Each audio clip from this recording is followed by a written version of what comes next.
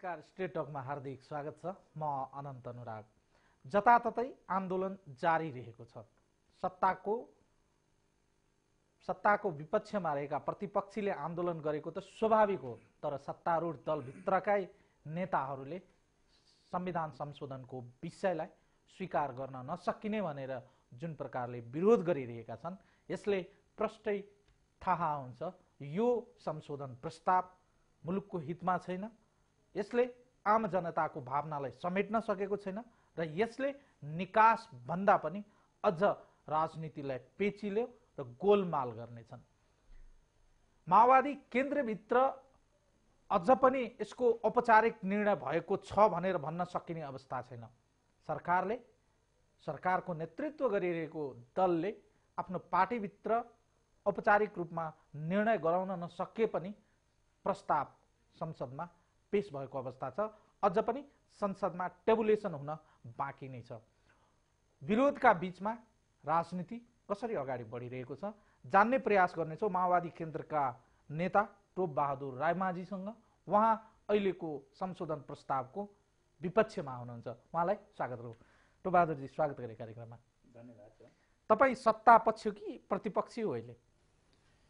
यो संविधान निर्माणको सवालमा हामीहरू यो सरकार पक्ष कि प्रतिपक्ष भन्ने कुरा होइन। यो जो संविधान संशोधन या संविधान निर्माण गर्ने विषय यो राष्ट्र र जनताको पक्षमा छ कि छैन र या राष्ट्रको र जनताको विपक्षमा छ कि पक्षमा छ भनेर मूल्याङ्कन गर्ने कुरा हो। अहिले यहाँ चाहिँ सरकार पक्ष कि प्रतिपक्ष भन्ने कुराहरू यो आवश्यक छैन। यो प्रस्ताव सरकारले ल्याएको छ। यो सरकारको एजेन्डा हो। यो पार्टीको एजेन्डा होइन। पार्टीमा पार्टी- छलफल नगरिकन ल्याइएको प्रस्ताव हो यो। पार्टी- पार्टीमा जानकारी गराइएको छ ब्रिफिङको रूपमा जानकारी गराइएको छ र पार्टीमा पास गराएर सरकारले लागू गर्ने कुरा पनि त भएन। यो त सरकारमा त अन्य पार्टीहरू पनि छन्।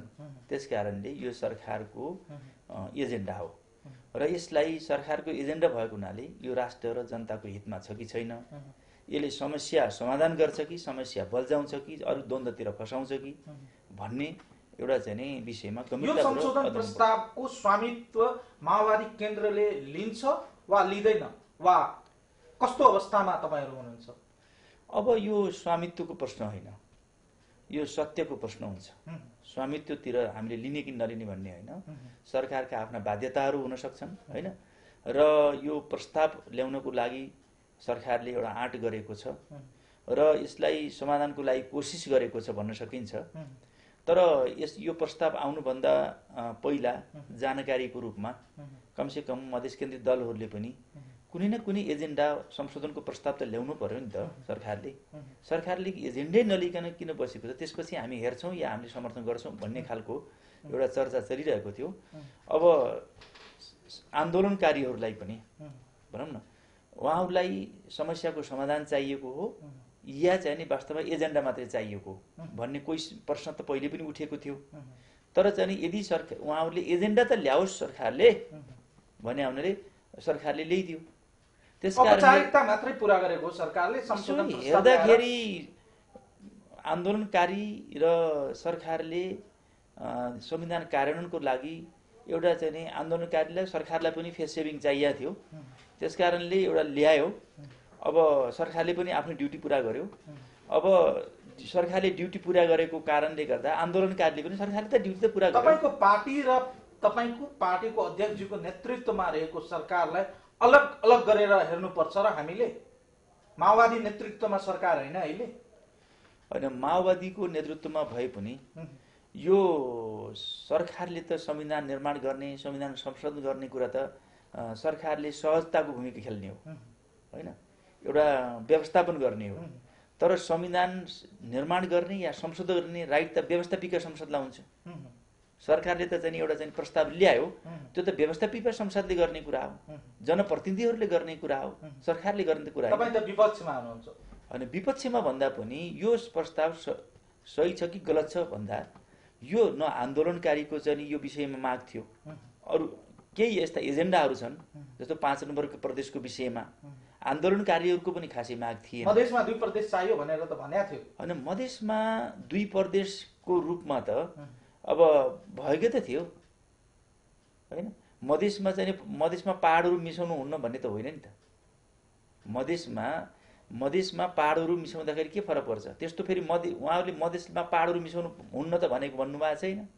त्यस कारणले अब मधेसमा दुई प्रदेश हुनुपर्छ भन्ने कुरा नै पहिला पहिला त सहज लाग्थ्यो हामीलाई।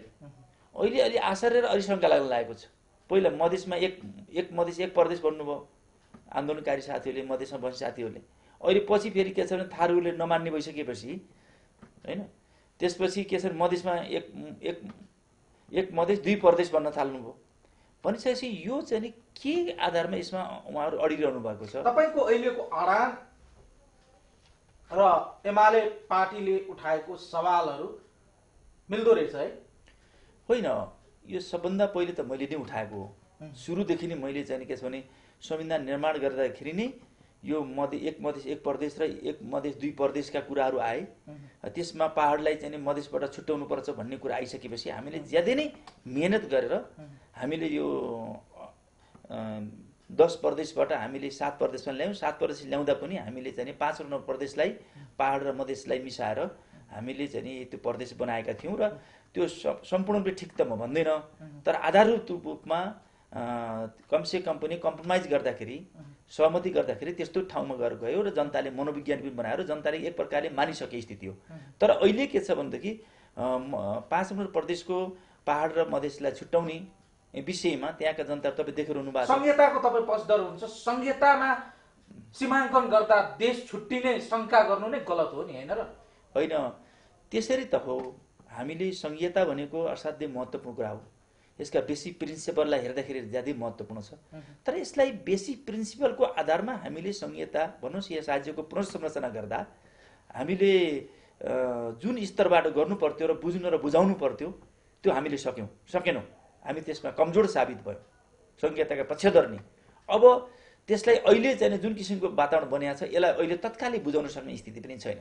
कालान्तरमा हामीले छलफल गर्दै जाँदाखेरि यो गाँडो भएको त होइन यो बुझ्न र बुझ्न बुझाउन नसकेको कुरा हो र यसमा हामी कमजोर साबित भयौँ भन्ने कुरा गर्न सकिन्छ यो गाँडो भन्दा पनि। कुनै कालान्तरमा यसलाई फेरि हामीले बुझाउन सकौँला र यसको बेसिक प्रिन्सिपलको आधारमा हामीले संहिता बनाउन पनि सकौँला। तर अहिले तत्काललाई यो सम्भव छैन।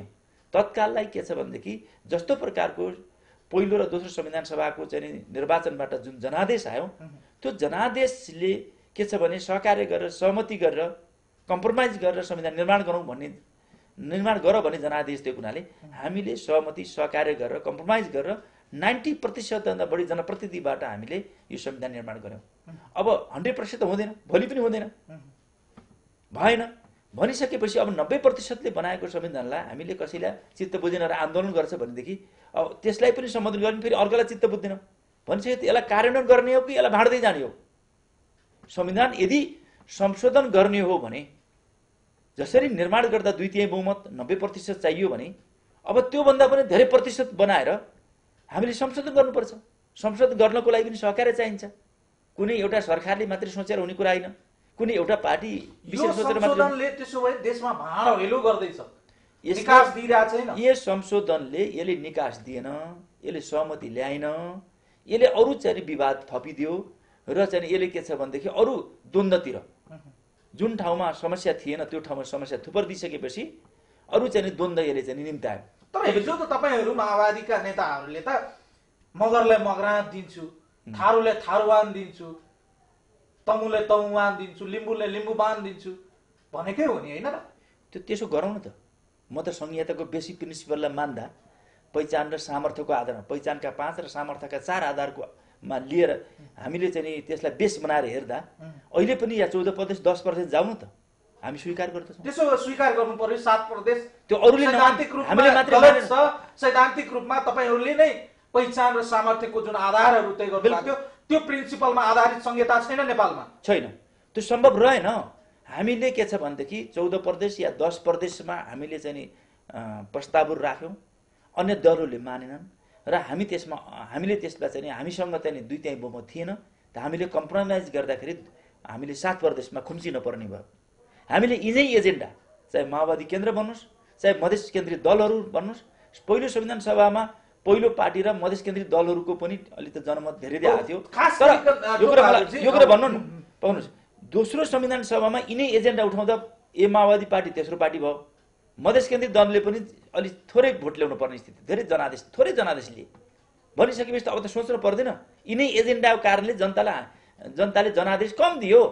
त्यस कारणले हामीले यसलाई जिद्दी गर्नु ठिक छैन। अहिले हामीले कम्प्रोमाइज गर्नुपर्छ। भोलि हामीले कालान्तरमा भोलिका दिनहरूमा चुनावी मुद्दा बनाएर जनतालाई राम्रोसँग बुझाएर हामीले फेरि चाहिँ यसको बेसिक प्रिन्सिपललाई बुझाएर जनमत ल्यायौँ भने हामीले त्यति बेला संशोधन गर्न जायज ठर्छ। अब नब्बे प्रतिशत एकातिर छ। अब दस प्रतिशतले अर्कोतिर चाहिँ नि अब विरोध गरेर तपाईँको चाहिँ यो संविधान चाहिँ नि जो कार्यान्वयन गर्ने यसलाई चाहिँ भएका मुद् स्थापित भएका मुद्दा भनौँ संस्थागत भएका मुद्दाहरूलाई चाहिँ रक्षा गरेर हामीले अरू चाहिँ पाउन नसकेका प्राप्त गर्न नसकेका एजेन्डाहरूलाई फेरि हामीले चुनावी मुद्दा बनाएर जाने जनताको बिचमा चाहिँ जनतालाई चाहिँ बढीभन्दा बढी कन्भिन्स गर्नेतिर जानुभन्दा हामी आन्दोलनतिर लाग्यौँ भने त भएको पनि फेरि संस्थागत भएका र संस्थागत भएका एजेन्डाहरू गुम्ने सम्भावना हुन्छ। प्राप्त भएका एजेन्डाहरूलाई संरक्षित गर्ने सुरक्षित गर्ने र प्राप्त गर्न नसकेका चिजहरूलाई एजेन्डा बनाएर जाने। यो बुद्धिमत्तापूर्ण हुन्छ निर्णय हुन्छ। होइन हामीले चाहिँ मान्दै मान्दैनौँ भन्नुको त मतलब चाहिँ के छ भने उहाँहरू जसले मान्दैन अर्काले फेरि नमान्न सक्छ नि। अहिले दस प्रतिशत मान्दिनँ भने अहिले प्रतिपक्ष चाहिँ नि कमसेकम पनि तेत्तिस प्रतिशतको हाराहारीमा प्रतिपक्ष अहिले विरोधमा छ। अहिले चाहिँ अरू साना दल पनि विरोधमा छन्। माओवादी केन्द्र र काङ्ग्रेसभित्र पनि विरोध भइरहेछ। जनता त सडकमा उत्रिसक्यो? स्वतः स्फूर्त जनता सडकमा उत्रिरहेछ। लाखौँ लाख जनसागरको रूपमा विरोध भइरहेछ। त्यसमा कुनै पार्टी विशेष छैन। यो सरकारले ल्याएको कि कसले ल्याएको भन्ने कुरा सोचिया छैन। यो एजेन्डा ठिक छैन। भनेर चाहिँ जनता चाहिँ अहिले पनि हप्तौँदेखिबाट आन्दोलनमा छ यो कुरा बुझ्न पर्छ पर्दैन? त्यस कारणले यो यो चिज समाधान हो कि? यो वास्तवमा चाहिँ विवाद थुपर्ने कुरा हो। भन्ने विषयमा क्वेसन उठ्या हुनाले अब समाधानको विषयतिर जानुपर्छ। म मैले भने म संहिताको पक्षधर मान्छे संहिताका बेसिक प्रिन्सिपललाई माग मान्छु। र यो प्रस्ताव राख्दा न आन्दोलनकारीलाई फाइदा भइरहेछ न सरकारलाई फाइदा भइरहेछ न पार्टीहरूलाई फाइदा भइरहेछ न संविधान कार्यान्वयन गर्नेवाला छ न विवाद समाधान हुनेवाला छ विवाद झन् थुप्रिनेवाला छ। तपाईँ खालि पाँच नम्बर क्षेत्रको मात्रै नेता हुन खोज्नुभयो भने पनि आरोप छ तपाईँमाथि होइन यो पाँच नम्बरको क्षेत्रको मात्रै कुरा होइन। देशको माया गर्नु पर्दैन। होइन मैले त देशको नेता हो। मैले त यसै भन् त्यही कारणले म भन्दैछु यो पाँच नम्बरको मात्रै एजेन्डा होइन। यसले समग्र देशलाई अब जिस्काउँछ समग्र देशलाई उद्वेलित गरिरहेछ। अब यो पाँच नम्बर त प्रदेशलाई पहाड र तराईले छुट्याउने भनियो भने अब फेरि एक नम्बर प्रदेशको झापा मरङ सुनसरीको क्वेसन उठिहाल्छ। त्यहाँका मान्छेहरू पनि जाने अब दही जमाएर त बसिया छैन। अनि कैलाली कञ्चनपुरमा पनि बेसी उठिहाल्छ। हे पाँच नम्बर प्रदेश छुट्याउने हाम्रोमा किन नगर्ने? पश्चिम चाहिँ थारूहरू थारूहरूले चाहिँ कैलाली कञ्चनको प्रश्न उठाउ उठाइरहनु भएको छ। पूर्वमा झापा मरण सुनसरी जनकपुरका चाहिँ जनकपुरका चाहिँ मधेस केन्द्रित दलहरू सिराहाका मधेस केन्द्रित दलहरू सप्तरीका मधेस केन्द्रित दलहरू अनि पछि आफ्नो चाहिँ झापा मरण सुनसरीलाई कुरा नउठाउने त्यो त्यसलाई चाहिँ वास्तवमा नभए पनि मान्ने। आफूले उठाएको त्यत्रो बलिदान गरेर उठाएको मुद्दालाई छोड्ने। अनि पाँच नम्बर प्रदेशमा जनकपुरका चाहिँ नेताहरूले चाहिँ पाँच नम्बर प्रदेशका पहाड तराईलाई छुट्याउनु पर्छ भनेर चाहिँ उफ्रिने। किन? कसरी कसरी अझ पनि म देशमा जान चाहन्छु पाँच नम्बर प्रदेशलाई मधेसलाई मधेसमा पहाडलाई पहाडमा राख्दाखेरि कहाँनिर राष्ट्रघात भइरहेका छ? राष्ट्रघात होइन यो चाहिँ माध्यमबाट सम्पूर्ण चाहिँ दर्शकहरूलाई मैले के जानकारी गराउन चाहन्छु भने अरू आन्दोलन र यो आन्दोलनमा काफी फरक छ। तपाईँले पनि यो कुरा अध्ययन गर्नुहोला हामीले के देख्यौँ भने यो आन्दोलन स्वत कुनै पार्टी विशेषले चाहिँ नि आन्दोलन गर भनेर उठेको आन्दोलन होइन। यो संशोधन प्रस्ताव आयो पाँच नम्बर प्रदेशलाई फुटाउने भन्ने कुरा आइसकेपछि जनता रात दिन सडकमा उत्रियो। स्वत यस्तो रूपमा। हामीले जनतालाई आम आम हडताल अनिश्चितकालीन हडताल गर्न थाल्यौँ। हामीले के भन्यौँ यो अनिश्चितकालीन हडताल राम्रो हुँदैन। यसले जनतालाई धेरै शास्ति हुन्छ यातायातको दृष्टिकोणले बजार बन्दको दृष्टिकोणले धेरै शास्ति हुन्छ। त्यसको लागि हामीले अलिकता यसरी चाहिँ नजाउँ अलिकता आन्दोलन त के छ भने के छ भने जुलुस नारा सभा गरेर पनि त विरोध गर्न सकिन्छ नि। बन्दै गर्नुपर्छ मैले यो कुरा भन्दैछु बजारै बन्द गर्नुपर्छ यातायातै बन्द गर्नुपर्छ सधैँभरि भन्ने होइन नि। अनिश्चितकालीन गर्दै त जनतालाई शास्ति हुन्छ। भनेर हामीले यातायात व्यवसायलाई चाहिँ खबर गरेको। हाम्रो घरै जलेपछि हाम्रो प्रदेशै फुटेपछि घरमा आगो लागिसकेपछि हामीलाई यो यातायात किन चाहियो? हामीले किन चलाउने भनेर स्वयं यातायात व्यवसायीहरूले आफै बन्द गरेका छन्। पहिला पहिला बन्द गर्नेहरूले के छ भने बन्द गर्न ज अलि दबाब पनि दिन्थे। अहिले स्वयं व्यवसायीहरूले बन्द गरिरहेछ बजार बजारमा दोकानदारहरूले पनि तपाईँ जनतालाई शास्ति हुन्छ किन किनमेलको चाहिँ समस्या हुन्छ तपाईँले खोलिदिनुहोस् भन्दा नि हामीले किन? घरमा आउला आएपछि दोकान किन चाहियो? हाम्रो प्रदेश फुटेपछि हाम्रो दोकान किन दोकान किन खोल्ने? जनता यसरी आफै बन्द गरेर सडकमा आएको छ। कुनै पार्टी विशेषको प्रभाव पार्टी त बरु हामी पछि लागेको जनताका पछि हामी लागेको नेताका पछि पार्टीका पछि जनता लागेको होइन। अहिलेको विशेषता यो पहिला अरू अरू आन्दोलन नेताहरू कोही झापाका नेता हुन चाहे कोही बुटवलका नेता हुन चाहे कोही डडेलधुराका नेता हुन चाहे कोही चितवनका नेता हुन चाहे कोही काठमाडौँका नेता हुन चाहे देशको नेता हुनु पर्दैन।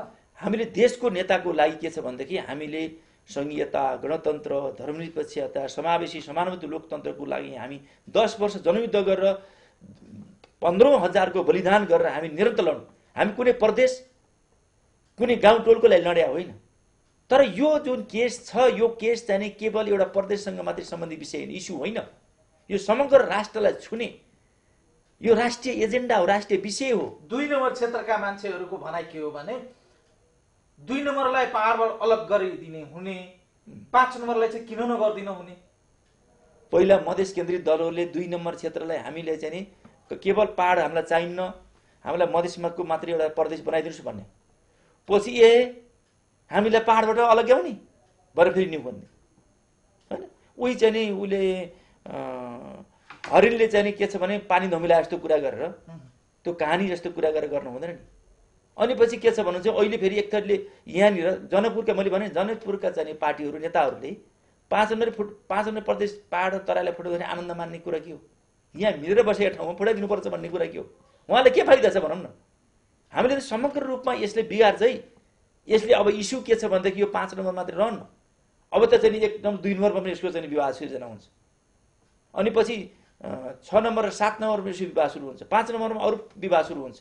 यसले त अरू विवाद निम्ताउँछ कमसेकम हामी ना नब्बे प्रतिशतले धेरै मिहिनेत गरेर सात प्रदेश बनायौँ।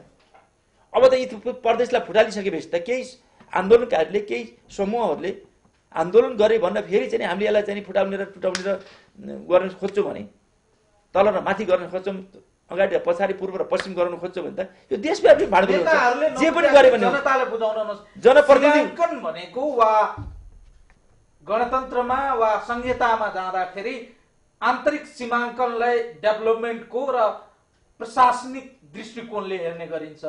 यहाँ त नेताहरूलाई कस्तो लाग्दो हो? सीमाङ्कन भयो भने मेरो वर्चस्व घुम्दैछ। आफ्नो भोट ब्याङ्कका हिसाबले चाहिँ क्यालकुलेसन गर्ने माइन्डसेटकै प्रब्लम हो है। त्यो पनि कसै कति कति कतिपय नेताहरूले र पार्टीहरूले सोचे होलान्। तर अहिले पाँच नम्बरको जो इस्यु छ पहाड र मधेसको इस्यु छ त्यो इस्यु भने पहिचान र सामर्थ्यको आधारमा पनि त्यो इस्यु मिल्दैन। पहिचान भन्नु चाहिँ हामीले दस या चौध प्रदेश भएको भए अलग अलग क्लस्टरहरू हुन्थे र अलग अलग प्रदेशहरू बन्थे त्यो भएको भए बेस्ट हुन्थ्यो। तर यो भइदियो के भने सात प्रदेशमा खुम्चिने बस्दा संयुक्त प्रदेशको कुरा आयो। संयुक्त प्रदेश बनाउनु पर्यो। जस्तो कि लिम्बुवान र किराँतको एउटा प्रदेश बनाउनु पर्यो। तामासालिङ र नेवाको हर्को प्रदेश बनाउनु पर्ने भयो। यतातिर के छ भने लिम्बुवान र किराँत र चाहिँ यो तलको कोचिला कोचको तिनवटा तिनवटा क्लस्टर मिलाएर एउटा प्रदेश बनाएको छ। जस्तो पाँच नम्बर प्रदेश पनि मगरात थारूबान र अवध अवधिहरूको मिलेर तिनवटाको क्लस्टरको एउटा प्रदेश बन्यो। होइन? अनि पछि हामीले थारूबान र अनि मगरात मिल्न उनी जनजाति पनि हो मिल्न मिल्न सकिने। होइन? त्यो पाहाड र मधेसको पनि क्लस्टर मिल्यो। अनि यो अवधि र चाहिँ थारूहरू त जनजाति होइन नि। अवधि जनजाति त होइन नि। अवधि र थारूहरू मिल्न हुने। अनि मगरात त्यसमा मिल्न नहुने जन जनजाति के कुरा हो? कस्तो कस्तो चाहिँ नि प्रदेश बनाउनु खोज्यो कसरी क्लस्टर मिल्छ भन्नुहोस् त?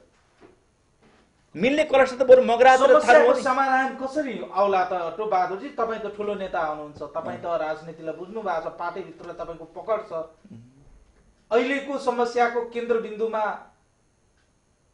तीन ठुला दल हो। हो। तीन ठुला दलले मुलुकलाई निकास कसरी दिने? हो यही त मैले अगाडि भनेर अझ म दोहोऱ्याएर भन्न चाहन्छु।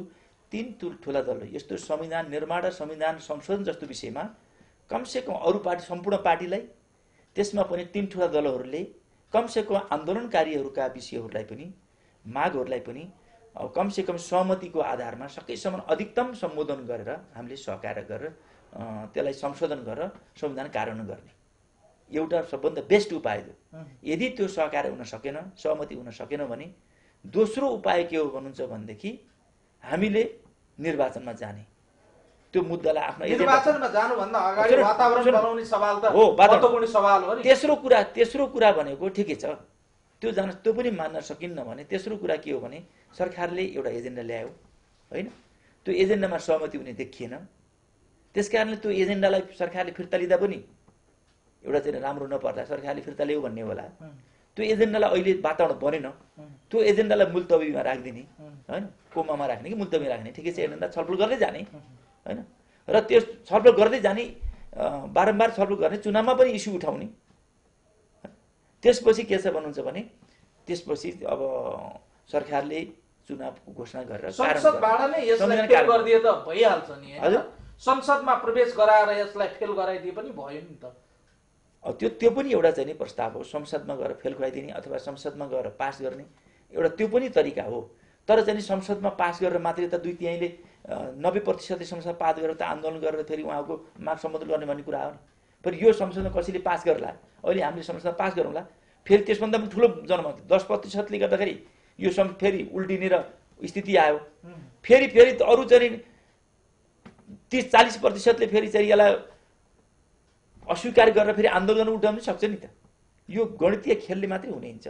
त्यस कारणले अहिले चाहिँ के छ भने हामीले गणितीय खेलको कुरा मात्रै पनि भएन। गणितीय खेल पनि हो गणितीय कुरा पनि हो।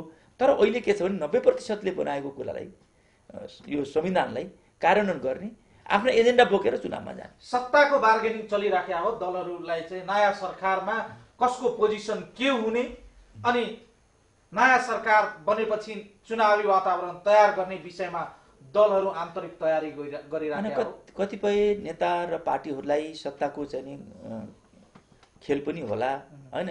सत् सत्ताको चाहिँ अब अब गृह कार्य पनि होला।